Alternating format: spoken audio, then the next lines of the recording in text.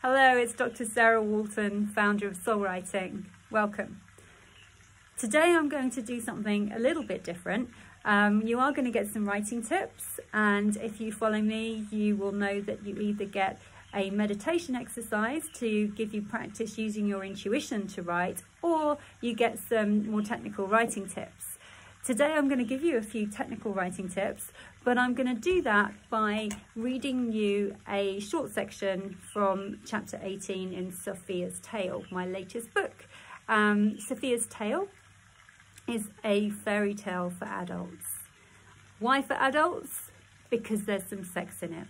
So today we're going to be focused on writing sex in fiction.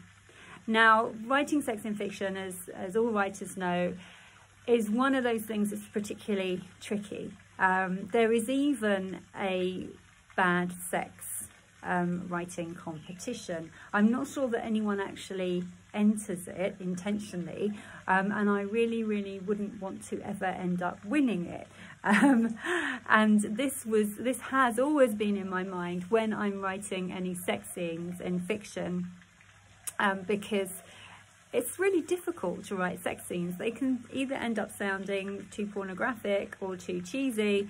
Um, so I would say to you, be careful how you use sex in fiction. The rule of thumb that I use, and this isn't going to be for everyone, if you're writing erotic fiction, this is definitely not for you. But for me, my rule of thumb is the sex needs to have a function either in terms of the plot or the characterization. It needs to be moving forward the reader's understanding of the plot, so moving the action forward, or the reader's understanding of the characterization. And in terms of the characterization side of things, that may also include moving forward some of the themes and giving the reader more information about some of the themes in the book. Now, I have written about sex a, a, number of times, um, and in every, six, every single time, the sex has a plot function. In this particular book, in Sophia's Tale, the function of the sex um, has is, is to demonstrate the sacred union and the rising of the Kundalini, so if you're not familiar with that term, it's, it's your energy that rises up from your sacrum to the crown, crown of your head. Anyone who's used to doing Kundalini yoga or um, energy work, um, chakra work, then you'll be familiar with it. But basically, there is an energy system, it's an invisible system, which a number of belief systems believe in, um, which is that there are certain energy points within the body.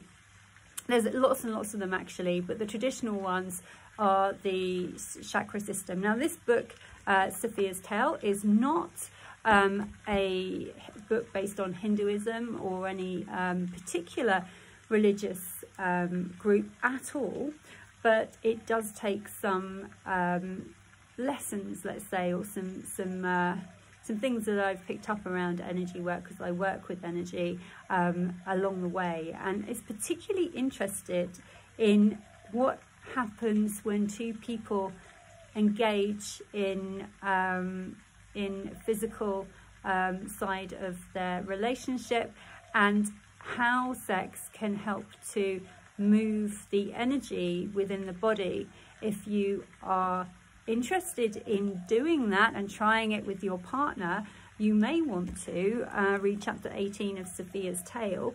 Um, one of the reviewers for this book was a Buddhist monk.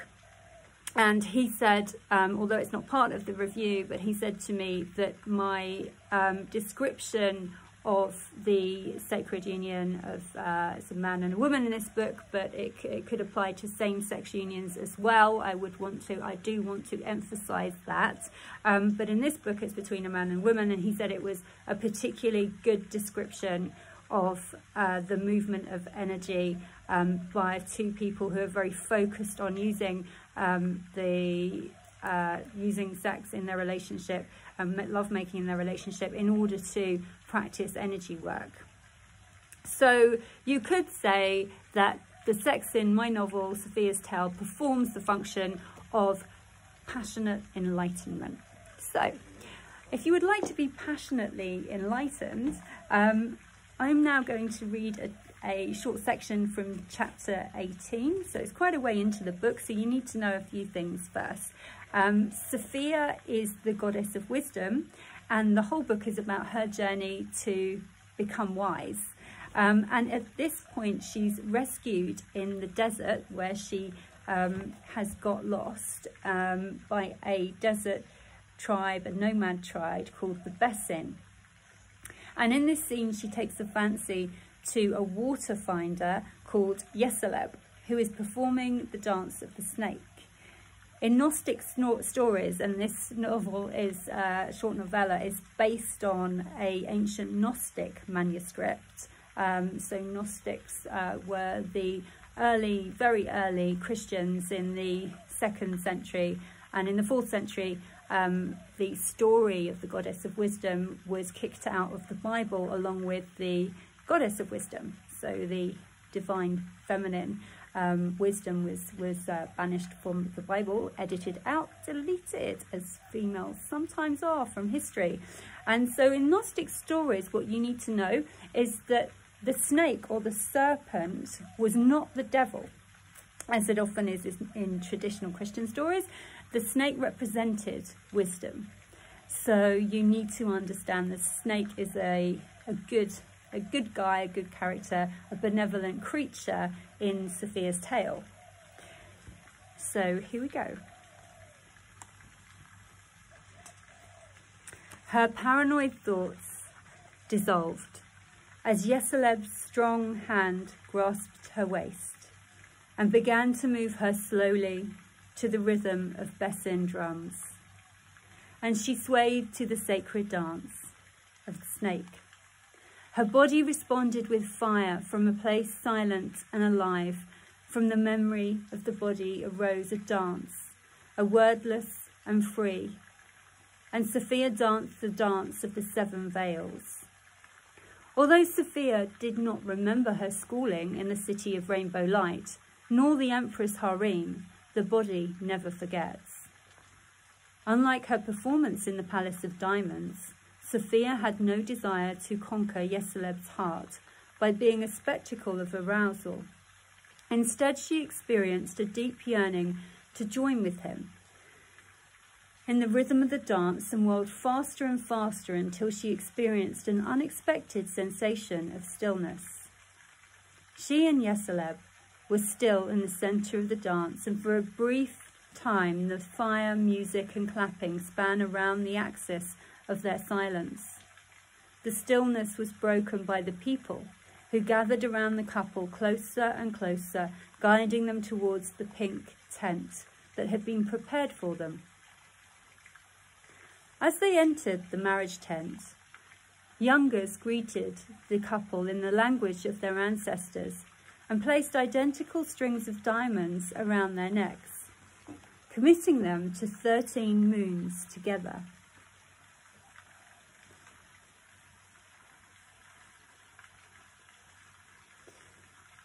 As was the tradition. Separated by a curtain of lapis lazuli, Sophia and Yeseleb were washed and prepared for each other with oils and sacred snakes were brought in as witnesses to the sacred act. Sophia felt lost and as she again stood on the brink of the unknown. When the curtain was pulled back, she recalled a memory. The memory was of men faceless and numerous, visiting her room in the house of poppies, with the memory of a dark red imprint of humiliation made her cheeks burn. I am Birukana, she whispered. And Birukana, in the language of this novel, means prostitute. I am Birukana, she whispered, trying to hide her naked moon-white skin from Yeseleb.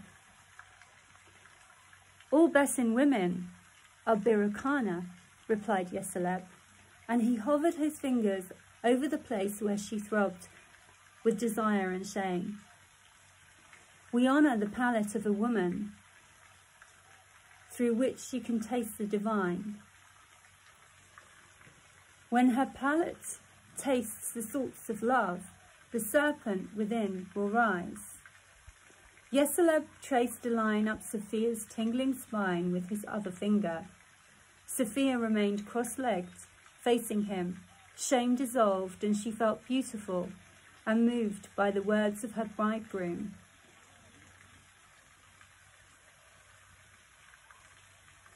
She was surprised by the respect for her body and more surprised that she, a Birukana, felt like a novice.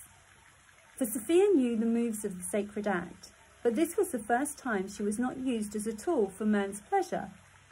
Beyond flesh and blood, sacred rituals lay dormant. The wisdom body awaits its patient practice. Yeseleb continued his wandering discovery of her body. With the same patience, he searched for water. You must learn to receive love. Your body is too accustomed to giving. Sophia did not interrupt her bridegroom, nor did she give way to her desire, but patiently received and learned that a woman can receive without submitting. Yeseleb looked deep into Sophia's eyes as he caressed her body.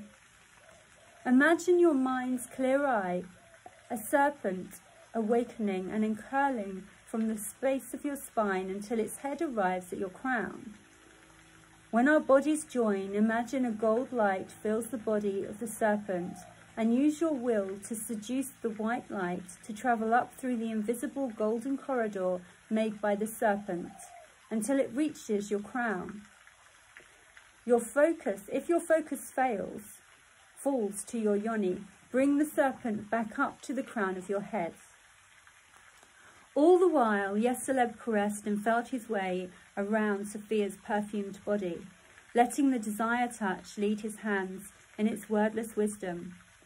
Time unfolded into eternity, returning spasmodically as they resisted the climax their impatient bodies tried to trick them into seizing before the white light completed its journey. Up their spines and to the crown of their heads. At these moments they would close their eyes and focus on the light of the sacred snakes within them, etching the invisible golden channel to the moon above or connect by looking into each other's eyes and resting the focus of their heart in their hearts into which they poured love to balance their desire. Time dissolved and form melted into the rhythm of love. Their bodies entwined resembled a hermaphrodite. Their souls understood their androgynous nature, two beings locked in the embrace of the winding snakes. Neither male nor female, when their minds could no longer hold the pose, they sank into mutual bliss.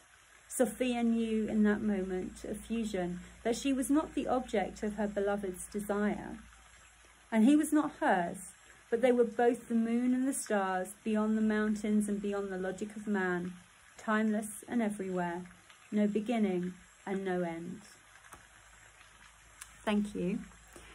So that was a section um, about the that's the sex scene in Sophia's tale, one of them, and its function is to demonstrate the sacred act and the passionate enlightenment that follows.